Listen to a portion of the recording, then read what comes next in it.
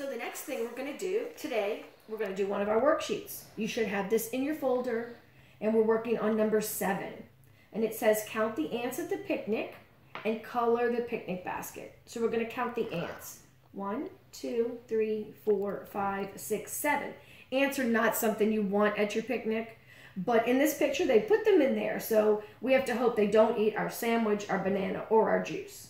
So now we're going to color the picnic basket. I'm going to go with brown, but you could choose another color if you like. But I'm going to color mine brown. So I hope all of y'all are doing your work at home and everything's going well and y'all are all feeling well.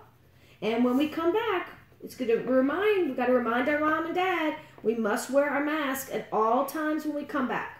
So we're all going to work on that to make sure we bring our mask every day. You could put pack an extra one in your backpack.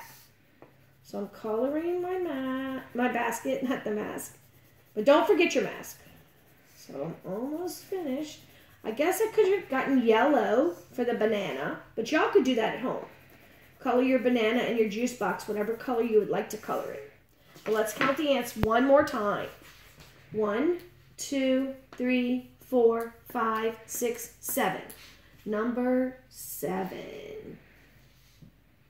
And you can try to write your name right there. We're also still doing rectangle. So I'm going to do the red for my rectangle. So y'all can see the rectangle. You can color the whole picture, but I'm just going to color the rectangle part.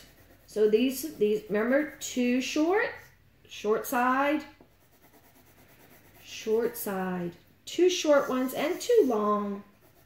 That's what makes it different from a square. A square would be all the same size, these are too long, too long, too short. So you can finish coloring your picture if you like. Next, we're going to read a book. We're going to do jungle animals. Hmm. There are, wait, I think I missed a page. Jungle animals. There are lots of animals in this picture. Point to all the different animals. A zebra, elephant, a crocodile, a parrot, hippo, lion, monkey, a snake, and a giraffe. I think I got them all. All these animals live in the jungle or close by. A lion, a zebra, we use him when we do our alphabet. An elephant, we also use elephant too. A snake, a monkey, a giraffe, crocodile, hippopotamus, and parrot. It says to say each one's name out loud, which I did do. I see one green. Ah, parrot has a little green on him too. A daddy lion has long fur around his face. It's called a mane. Point to the daddy lion. That's the daddy lion. A mommy lion is called a lioness. Point to the mommy lion. And how many babies? One, two, three, four. That one's playing. They're all playing. A parrot has bright, colorful feathers. Point to a red parrot in the picture. Hmm, let me see. Do I see a red one? Mm, right there. And can I find a blue parrot? See him on the tree. And look, if you look really close, there's a snake hiding in the, on the trunk. Hope he's not trying to get those birds. Snap, snap. These crocodiles have big, strong jaws and sharp teeth. Two crocodiles. Can you make your arms snap like a crocodile's jaws? Try it.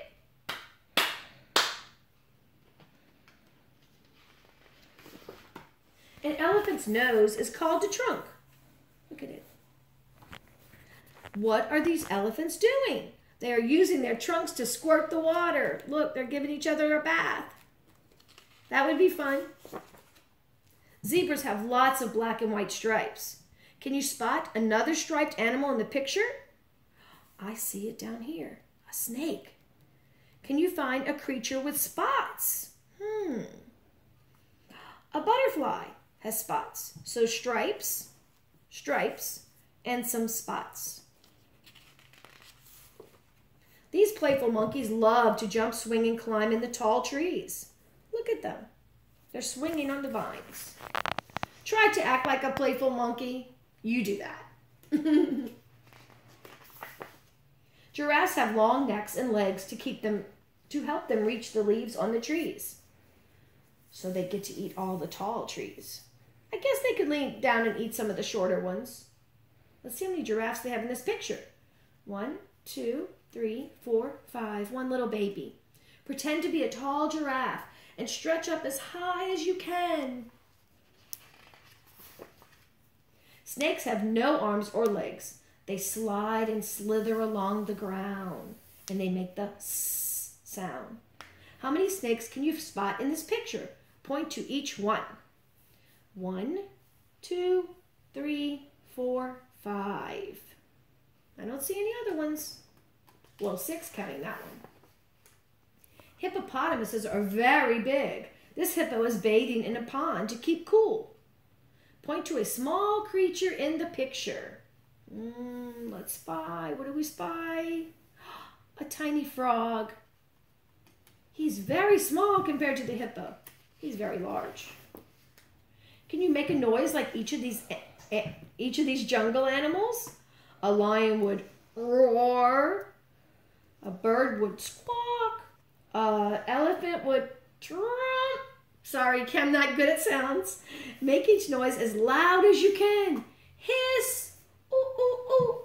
Snap. Which jungle animal is your favorite? The end.